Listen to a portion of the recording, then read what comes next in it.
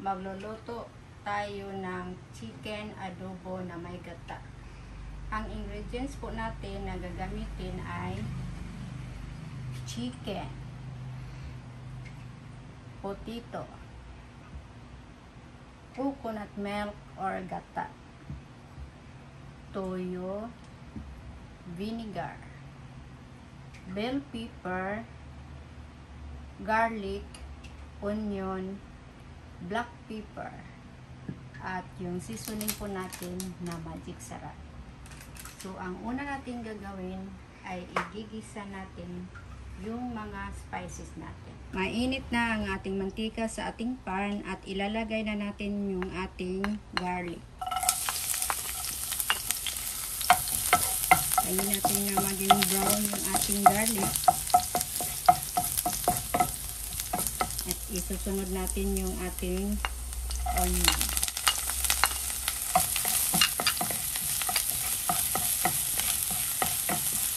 Hintayin na natin itong mag-golden brown bago natin ilagay yung ating chicken.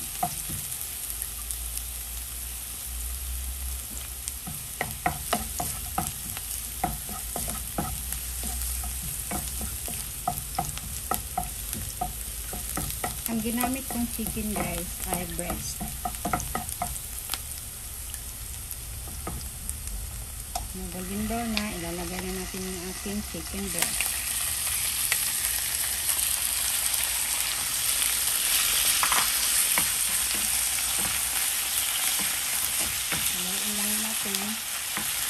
Para ma-absorb yung ating onion at saka yung garlic.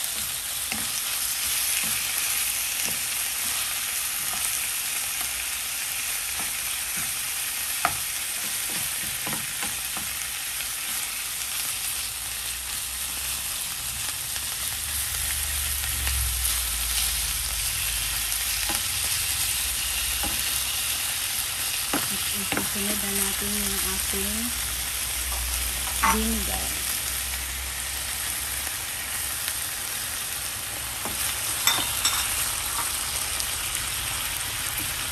At yung.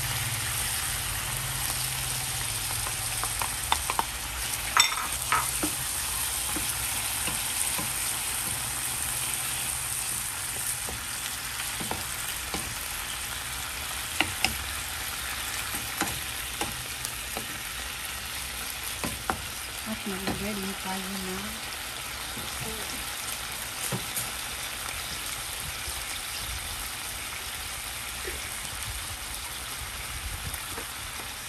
salt at saka black pepper.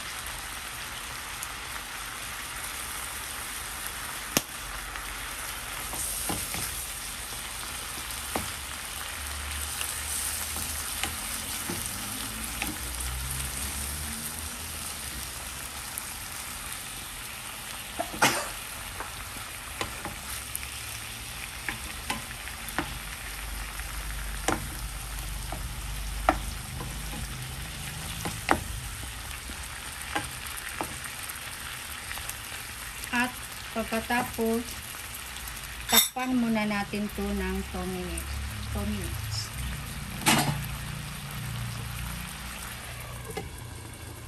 A few minutes later. Guys, malambot na ang ating chicken. Ilalagay na natin tong ating patatas.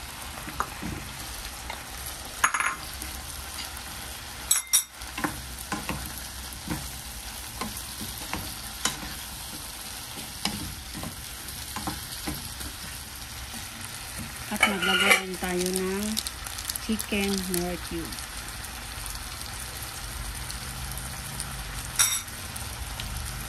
Susunod natin itong ating bell pepper.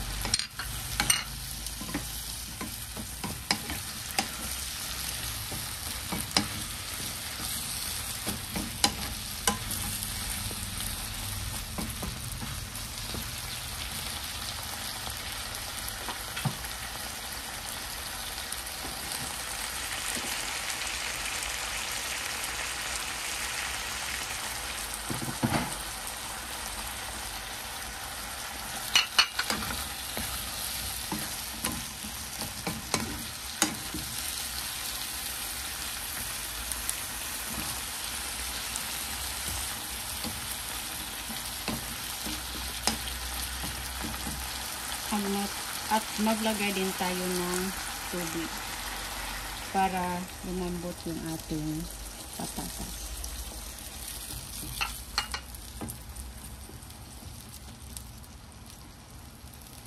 Takpan din natin to uli at lulutuin natin to ng 15 minutes.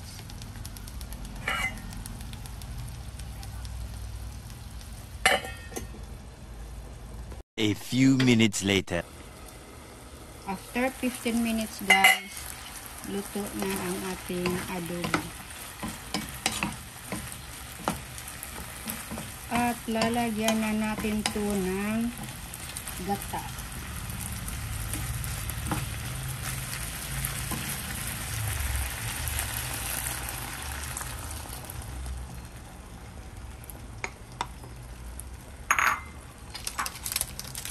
At magic sarap.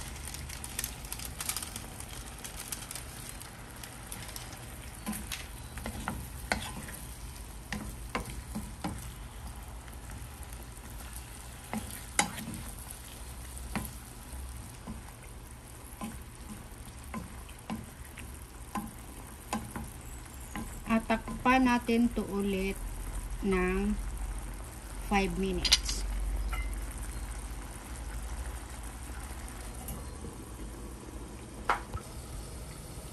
After 5 minutes, luto na ang ating chicken adobo na may gata.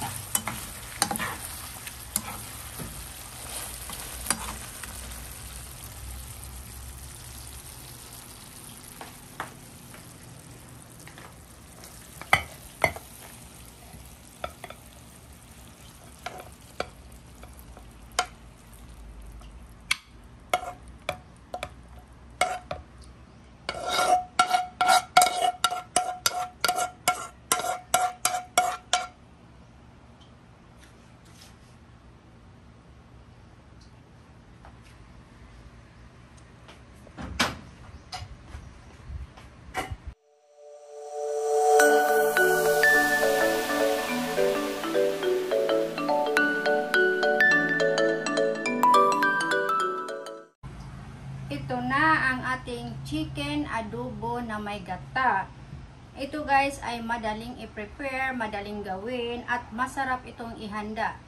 And that, that's all for today's video guys. Please like, share, comments, and subscribe. Thanks for watching. Bye!